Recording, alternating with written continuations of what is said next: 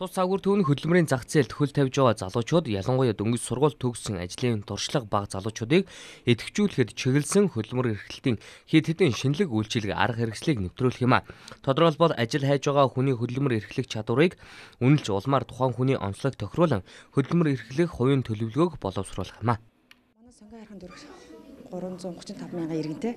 А үүнээс яг 15-аас 59 насны хөдөлмөр эрхлэх боломжтой хүмүүсийн тоолонгод 235 мянган хүн иргэн байдаг.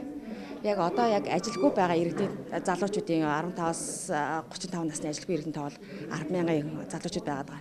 Тийм ер нь бол бид нар бол 15-аас 35 насны залуучууд бол маш их ажил их хөдөлмөр эрхлэх сонирхолтой, ажил их хайдаг, эрэлт эрх зайгүй ихтэй, мөн ажиллаа олгогч нар марч гэсэн яг одоо яг энэ насны залуучуудыг маш их ажлын байраараа авах сонирхол ихтэй байдаг.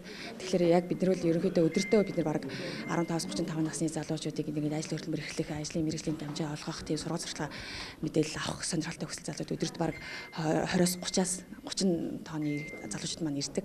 Тэгэхээр энэ байдлыг бид нар одоо нөхцөл боломжийг бид нар олгож энэ хөгжлийн төвөө бид нар байгуулсан байна.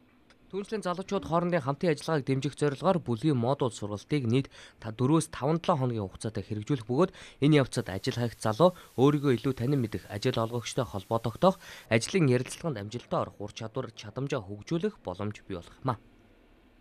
Энэхүү төвийг нээснээр бас нэг анги танхим засаад үлдээчихгүй. Энэ дотор бол хамгийн гол нь залуучуудын байнгын үйл ажиллагаа явах хэрэгтэй. Залуучууд ирд хөгжих хэрэгтэй. Зорилтод бүлгийн иргэдмэр бол 15-аас 34 насны залуучууд байна. Тэгэхээр сургуулаа төгсөөд ажил хийгээгүй завсардсан магадгүй хөдөлмөр эрхлэхэд бас өөрийн мэдлэг туршлага багтаа яг энэ залуучууд зориулаад энэ танхимд тэр үйлчлэгээнүүдийг явуулах. Энэ бол ямар үйлчлэгийг бол эхлээд тухайн хүнийг онцлно, ямар мэдлэг мэдээлэл дутуу байна. А түүн зориулаа хөдөлмөр эрхлэхтэн зориулаад хувийн төлөвлөгөө гаргаж байна. Та энэ чиглэлээр ямар ажил хийх гэж байгаа тэнтэй нүвэд энэ чиглэлээр хөгжих хэрэгтэй байна. Таны хувийн төлөвлөгөө ийм байна. Тэгэхээр энийхээ дагуу дараа сургалтуудыг явуулж байгаа. Шинэлэг үйлчлэгээний зорилтод бүлэг бол 15-аас 34 насны залуучууд бөгөөд үүнд мэрэгжлийн сургалт үйлдвэрлэлийн төв, коллеж, ихтэй сургуулийн оюутан залуус хамрагдах боломжтой маа. За одоогийн байдлаар төслийн хүрээнд тус загвар төвийг 21 аймаг 9 дүүрэх тус тус байгуулж шинэлэг үйлчлэгийг нэвтрүүлэн ажиллаж байна.